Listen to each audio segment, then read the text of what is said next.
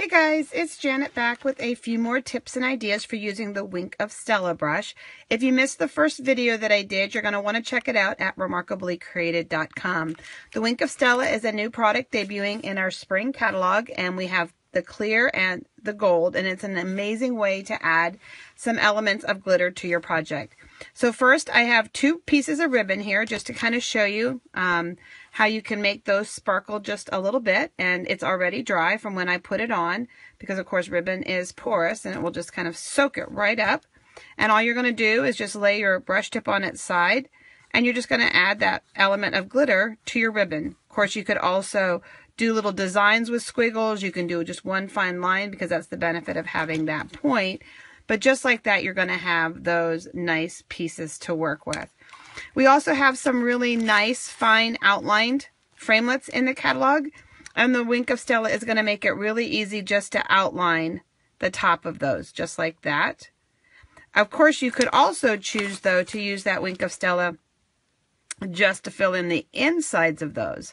And you don't have to worry about bumping up against the actual image itself. You might want to turn it more on its point and color with the point of it. And you just want to be gentle. You don't want to be mashing down because you want to preserve the point.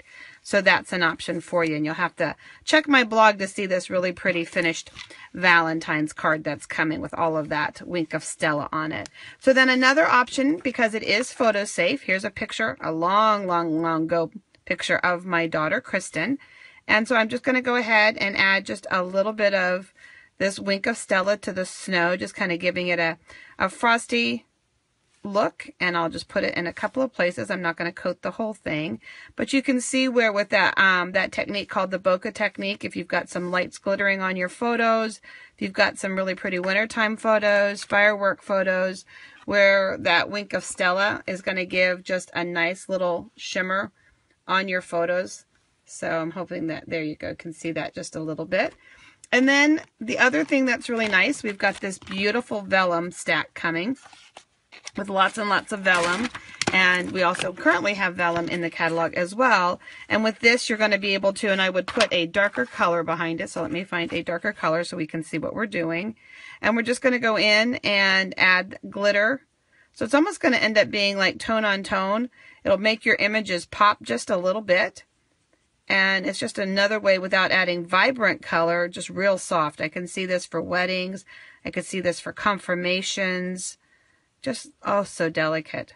So delicate. Just a really pretty little, really look that you're going to get. So you're going to end up with this real pretty glimmery tone on tone. Look at the look at that shimmer that that's adding to that paper.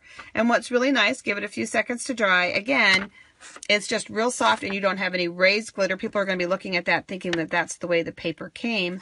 And you're just going to be able to pick and choose throughout the entire project where you want your glitter to be. So again, Wink of Stella, Stella in clear and in gold.